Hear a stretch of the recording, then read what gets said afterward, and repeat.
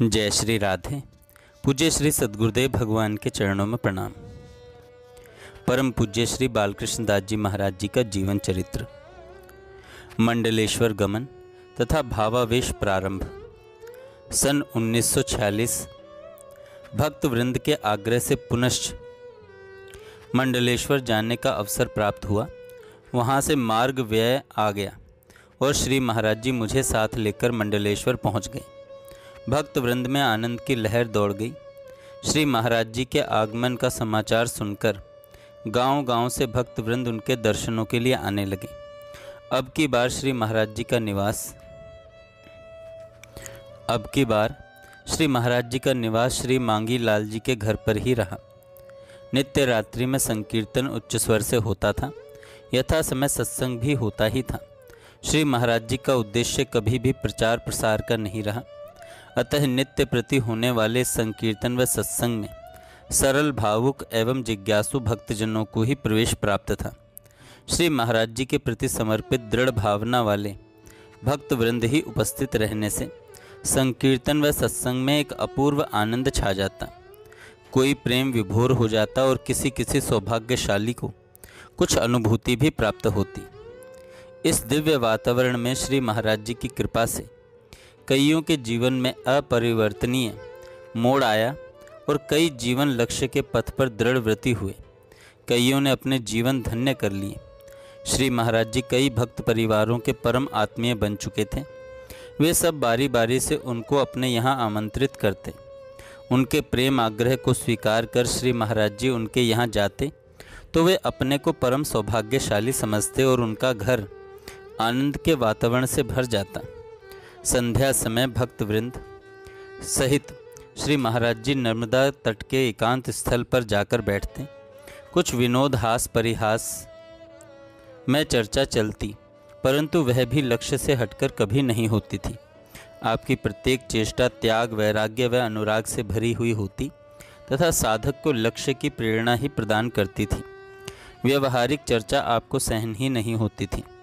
अपने संपर्की जनों में सदा सांसारिक वृत्तियों से हटाने की चेष्टा आप करते रहते इसलिए इस परिकर को लेकर कुछ लोगों के मन में ईर्ष्या भाव भी रहता। वे निंदा का आश्रय ले समाज में कुछ उल्टी सीधी बातें फैलाते रहते परंतु श्री महाराज जी के सामने आकर कुछ कहने का साहस इन लोगों का कभी नहीं हुआ। इनमें कुछ वकील लोग भी सम्मिलित थे जो सदा परिकर को हानि पहुँचाने का प्रयास करते सत्य से टकराकर आज तक कौन विजयी हुआ है? अपराध का परिणाम भोगना ही पड़ता है। वह इन्हें ही नीचा देखना पड़ता है। श्री महाराज जी के दिव्य वातावरण के नशे में चूर रहने वाले भक्तों को न इन बातों की परवाह थी, न ही उनकी ओर ध्यान देने के लिए समय ही था। वे तो श्री महाराज जी के अनुराग में एक छत्र साम्राज्य में मस्त रहते, निर्भय रहते, सदा सत्संग कीर्तन की धूम रही जाती। एक दिन श्री महाराज जी संध्या समय अपने कुछ भक्तों के साथ करुणा शंकर जी दुबे के घर गए। उनके प्रति दुबे जी की तथा उनके परिवार की सराहनीय श्रद्धा थी। ग्रीष्म का मौसम होने से सब दूसरी मंजिल की छत पर बैठे हुए थे। वातावरण शांत था। सहसा श्री महाराज जी, मुरली बाज रही मधुबन में। आम की डारी कोयल एक बोले, बावरी राधा वन वन डोले।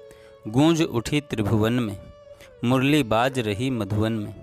इस पद को बार बार गाने लगे। गाते गाते श्री महाराज जी की स्थिति गंभीर हो गई। नेत्रों से अश्रु प्रवाह होने लगा। धीरे धीरे कुछ स्वस्थ होकर जाने के लिए उठ खड़े हुए। जैसे तैसे गृह द्वार तक ही पहुँचे होंगे कि भावाविष्ट हो गए। असमर्थतावश बाहरी चबूतरे पर बैठ गए। सहसा शरीर ढुलक पड़ा। कुछ समय उपरांत प्रकृति स्थित हुए और निवास स्थान पर लौट आए नंदगांव से वृंदावन आने के पश्चात प्रथम भावावेश यहीं से प्रारंभ हुआ। एक दिन आप कुछ भक्तों सहित मेरे घर महेश्वर आए। वहाँ से भक्तजनों को साथ ले नर्मदा तट पर घूमने गए। सुंदर घाटों को देख अति ही प्रसन्न हुए कहने लगे, कुछ महीनों पूर्व इन घाटों को मैं स्वप्न में देख चुका था। नर्मदा का विशाल पाठ अगाध जलराशि घाटों की सीढ़ियों से टकराती हुई लहरें, भ्रमणार्थ जल राशि पर तैरती हुई नौकाएँ। यह सब देख कर श्री महाराज जी की इच्छा नौका भ्रमण करने की हुई। तत्काल नौका आ गई और भक्त वृंद सहित श्री महाराज जी नौका पर आरूढ़ हुए। किनारे को छोड़ नाव नर्मदा के गहरे जल में मंद मंद गमन करने लगी। श्री महाराज जी नौका मध्य से घाटों का सौंदर्य देखते जा रहे थे। विशाल रमणीय अत्यंत ऊँचे ऊँचे घाटों के सोपानों पर जल भरे घट सिर पर रखे मंद मंथर गति से ऊपर चढ़कर जाने वाली पनिहारियाँ, उनके लहराते हुए रंग बिरंगे वस्त्र आभरण पाँवों में मंद ध्वनि करती हुई पायलें, ऊपर से रिक्त घट लिए हुए द्रुत गति से उतरने वाली पनिहारियाँ उनकी वह चंचल चपल गति इस संपूर्ण दृश्य को देखकर श्री महाराज जी किसी अद्वितीय साम्राज्य में खो गए। आपके भाव साम्राज्य में गोकुल ग्राम ही प्रकट हो गया और एक दिव्य मत्तता में चूर दिखने लगे। धीरे धीरे आपने गोकुल गाँव का अनूठा वर्णन करना प्रारंभ कर दिया। नौका मंद गति से चल रही थी। भक्त वृंद नीरवता में श्री महाराज जी के मुख से निसृत उस पीयूष वाणी का एकाग्रता से पान कर रहे थे। किसी को समय का भान न रहा। नाव कितनी दूर निकल गई, इसका भी विचार नहीं आया। श्री महाराज जी वर्णन करने में तन्मय थे। मध्य मध्य भाव विभोर स्थिति हो जाती। कुछ देर चुप बैठे रहते, पुनः वर्णन करना प्रारंभ कर देते। वर्णन करते करते आपने एक पद मंद मंद स्वर में गाना प्रारंभ कर दिया।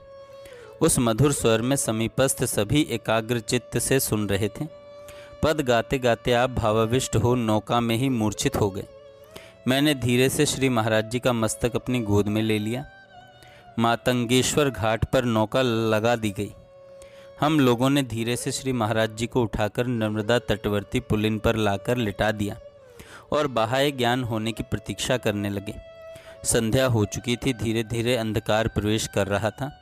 शरद ऋतु होने से हल्का हल्का शीतल समीर कुछ शीत का बोध करा रहा था। सात बज चुके थे, अंधकार बढ़ता जा रहा था। श्री महाराज जी को बालुका पर मूर्छित पड़े हुए दो घंटे व्यतीत हो चुके थे, परंतु बाह्य ज्ञान होने के कोई चिन्ह प्रतीत नहीं हो रहे थे।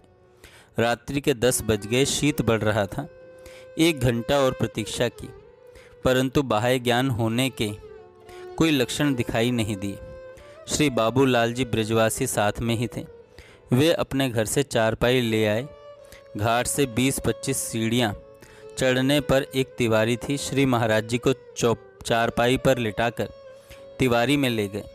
हम सब आसपास बैठकर उनकी मूर्छा भंग होने की प्रतीक्षा करने लगे।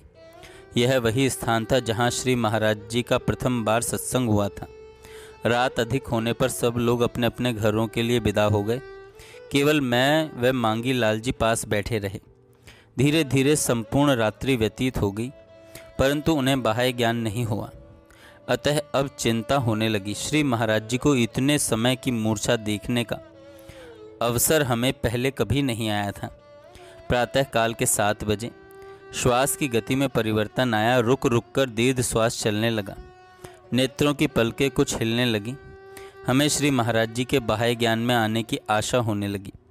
और एकटक श्री महाराज जी की मुख मुद्रा निहारने लगे। धीरे धीरे आपके अर्धोन्मीलित नेत्र खुले व नेत्र कोण कुछ इधर उधर झुकने लगे।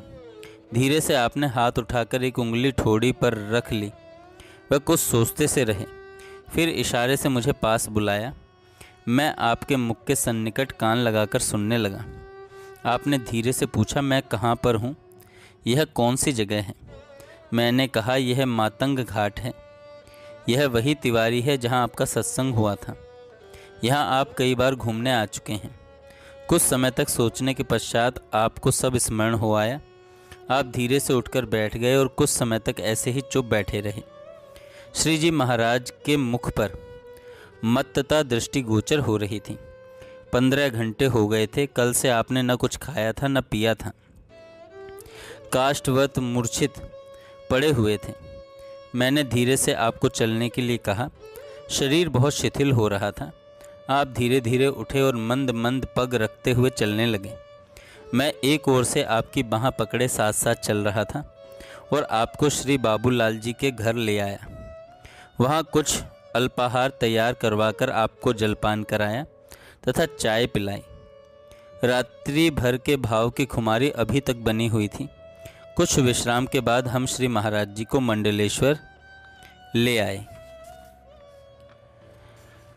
जय श्री राधे। कल हम सुनेंगे गाँव गाँव में संकीर्तन।